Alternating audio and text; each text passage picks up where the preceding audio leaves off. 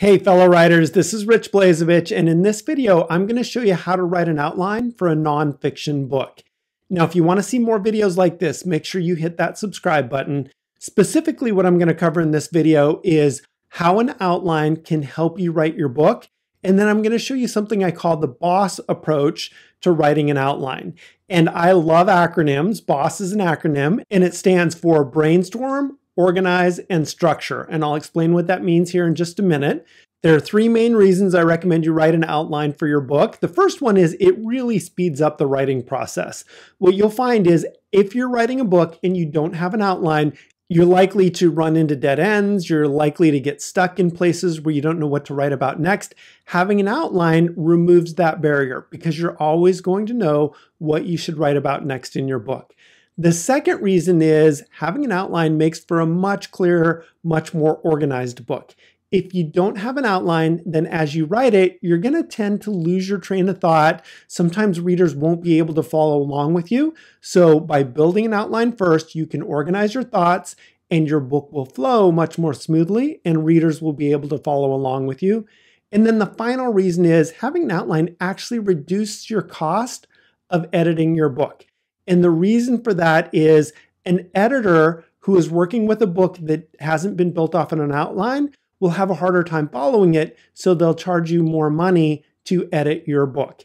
If you prepare a very clear, very organized outline, then you write your book and turn it over to an editor, chances are they'll be able to follow along with your book much more easily than if you don't use an outline when you write your book. So knowing those reasons for writing an outline, I'm going to jump in and show you what I call the BOSS approach. Again, BOSS stands for brainstorm, organize, and structure, and I'll show you how to do this. First of all, let's talk about brainstorming. Chances are your brain already has a whole bunch of ideas on what you should include in your book. And brainstorming is simply getting those ideas out of your brain and into a place where you can look at them and then organize them. What I recommend is when you first start off doing your brainstorming session, start with what's the topic of your book. Hopefully, by now, you've picked a topic for your book. Then, once you've clarified that topic for your book, write down who the audience is for your book. So, who is going to want to read your book?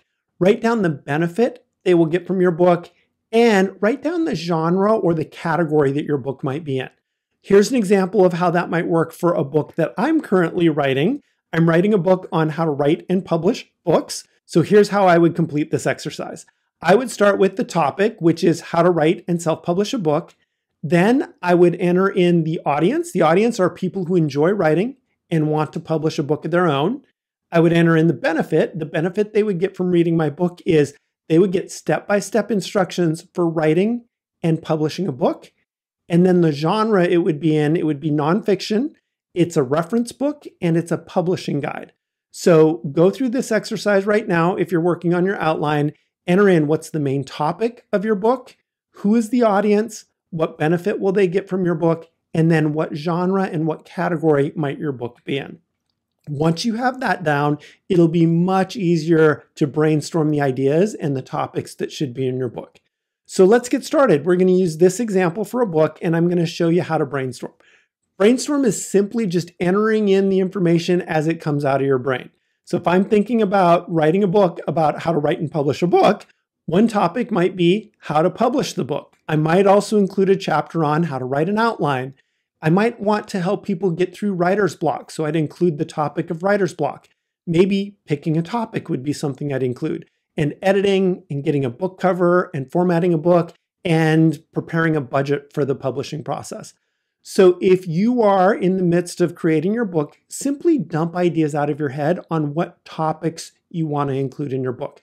When you're brainstorming, you don't have to organize these, you don't have to do these sequentially. You can even put ideas that you think may or may not be good ideas, because in the next section, I'm going to show you how to organize your ideas, prioritize your ideas, and potentially even eliminate ideas that might not make it into your book.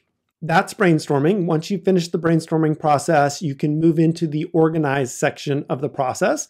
Organize means simply take all the information that you just dumped out into your brainstorming list and organize it in an order in which it might appeal to your readers. So if I am writing a book about how to write and publish books, I'm going to want to organize that book in the order in which I want people to go through the process. The first step in my process is picking a topic for a book. Then I might want people to prepare a budget.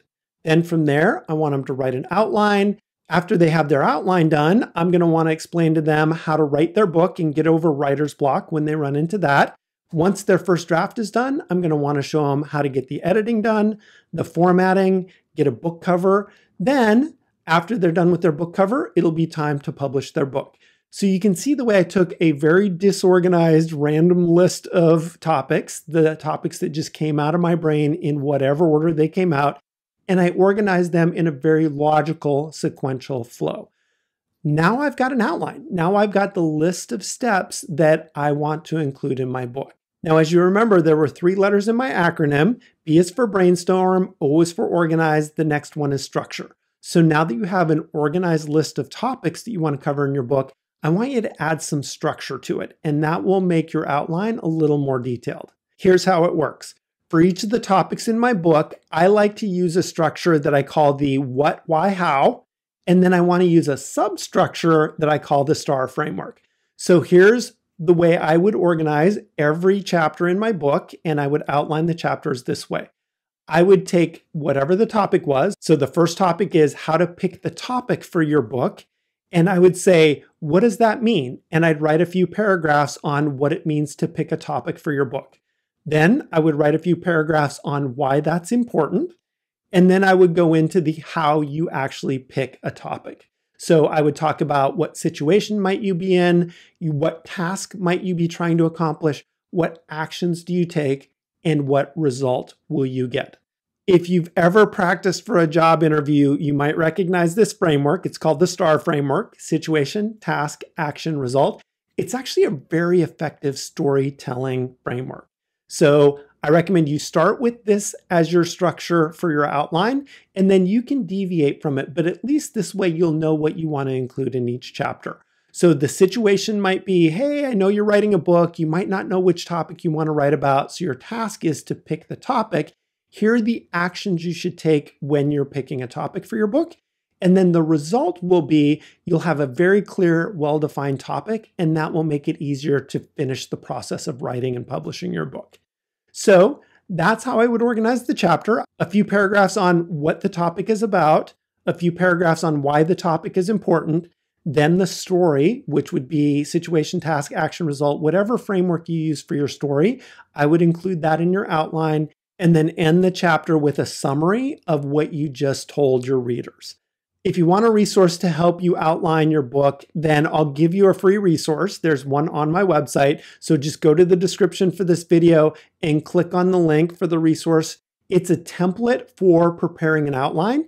And I also include in that document several sample outlines so you can see how other authors have outlined their book using this system. So just click on that link in the description and follow the directions for downloading that book outline template. To summarize, I just showed you the BOSS framework for creating an outline for your book. It starts by brainstorming topics that you might want to include in your book, organizing those topics based on the order in which you want to cover them, and then creating some structure for each of those topics. Hopefully, this approach to writing an outline will be useful for you. If you want to see more videos like this, videos about how to write, refine, and publish your book, then just hit that subscribe button. And don't forget to download that free book outline template by clicking on the link in the description for this video.